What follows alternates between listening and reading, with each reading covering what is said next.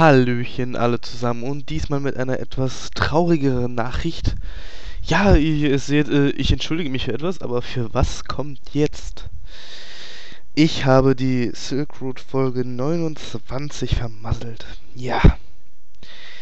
Es ist mir so passiert, dass ich beim Uploaden etwas schiefgegangen ist und ich gedacht habe, dass die oben wäre, weil ich immer im Voraus hochlade, genauso wie im Voraus drehe und mir dabei dann gedacht habe, die wäre halt oben, sie gelöscht, wirklich gelöscht, gelöscht, vom Papierkorb, alles mögliche, pipapo, ähm, und ich jetzt ohne weiteres nicht mehr da rankommen würde. Und deswegen drehe ich momentan das Video. Und zwar tut es mir wirklich unendlich leid.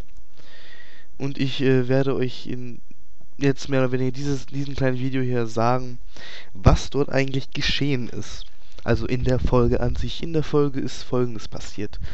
Es ist relativ nicht so sehr schlimm, dass die Folge jetzt verloren ist, da nicht wirklich viel passiert ist.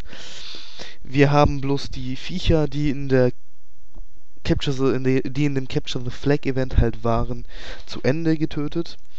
Wir haben zwei, drei Players gekillt, die dort rumgegammelt haben. Wir haben ein paar Trophäen gesammelt, sind dann zur Stadt wieder zurück teleportiert und haben uns wieder unsere Storage wieder aufgeräumt. Pipapo.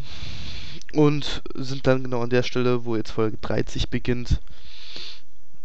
Und zwar beim Auktionshaus.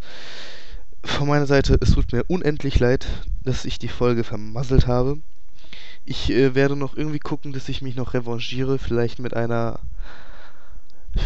Ich weiß es nicht. Ich muss gucken und werde dann halt noch ein Video drehen.